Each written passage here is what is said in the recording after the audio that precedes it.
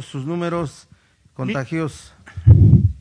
82 casos más que ayer, hacen un total de 1.858 acumulados. ¿Cuántos en la zona conurbada? Eh, tantos, el 71% de estos en la zona conurbada y de la zona conurbada el 63% en el municipio de Puebla, señor. Dígame usted números. Estamos hablando de, 60, de 64 en la zona conurbada, de estos 64, 2, 62 en el municipio poblano. O sea, de los ocho. Tenemos reporte de 20 fallecidos.